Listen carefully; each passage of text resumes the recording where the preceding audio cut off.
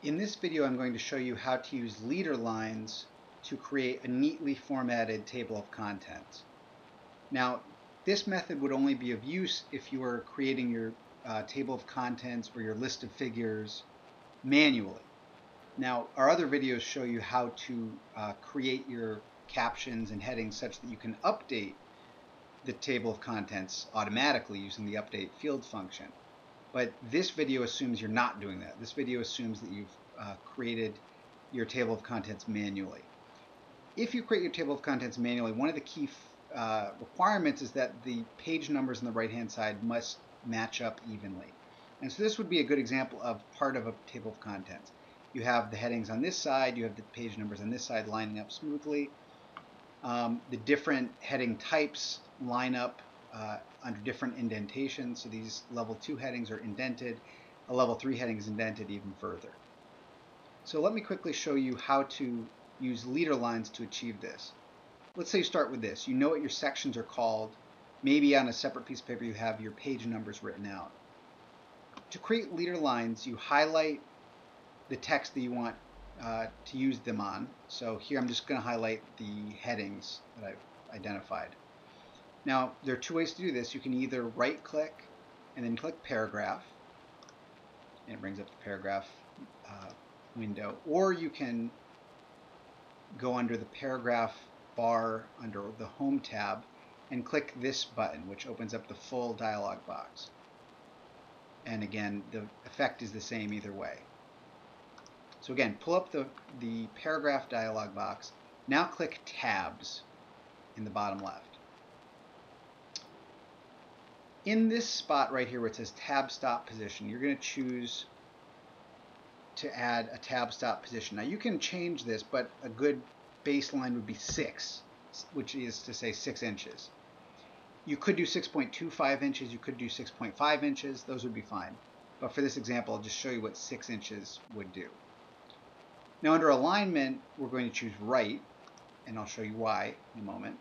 And then under leader, we're going to use this option with the dots, which will create those uh, dot lines that go across the page so that the reader's eye can track which page number lines up with which heading. So again, change this to 6 or 6.25 or 6.5. Change the alignment to right, change the leader to option 2 with the dots, and click Set and OK. Now what that means is whenever you push the tab button in this section of text that we just highlighted, you'll create leader lines that end at six inches across the page. And you'll see it's going to line up right with the six up here. So if I just push the button tab, if I'm if I'm putting the cursor right to the directly to the right of my heading, I push tab, it creates the leader line, and then I can type in a page number. And so let's just imagine these page numbers are Uh, Roman numerals, and then these ones are going to be the Arabic numerals starting with 1. This might be page 2, so on and so forth.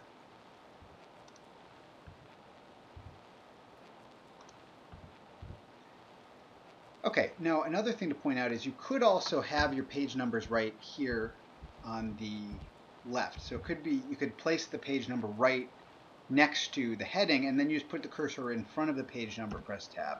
It would have the same effect. It would push the page number across to the other side, and it would also add the leader lines.